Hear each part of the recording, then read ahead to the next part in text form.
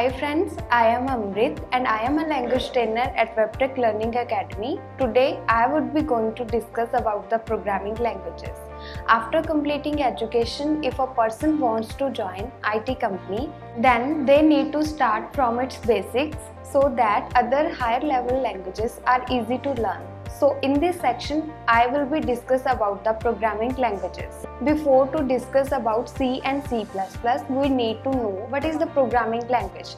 Like to communicate with each other, we need some language like Hindi, English, Punjabi. So in the same way, to communicate with computer system, we need some programming languages and we give instructions to the computer system using some programming languages. So C and C++ are the programming languages to work with the computer system and then we need to know what is the C and C++ languages. C and C++ are the basic languages that one should know since the other programming languages are derived from these two, two things.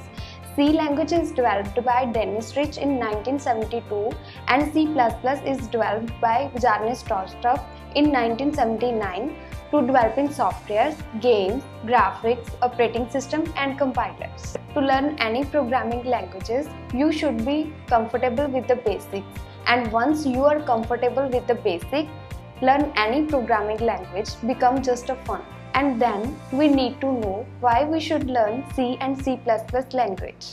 C and C++ are must to learn for everyone who is interested in programming and who want to start their career in IT industry. It is the basic foundation of any programming language all the programming languages like Java, C Hash or any other object-oriented programming languages are all inherited from C and C++. Also to get a job in IT, like to become a developer, you learn it. And then we know what are the requirements to learn C and C++? Basic understanding of computer knowledge and needs a compiler to run the code. And now question arises, is there jobs available in India for C and C++ developer? There are too many jobs available in India for the C and C++ developer.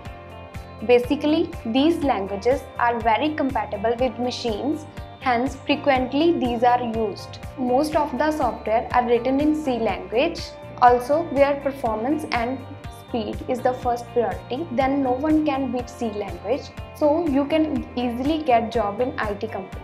Now we know the salary package of C and C++ developer in India.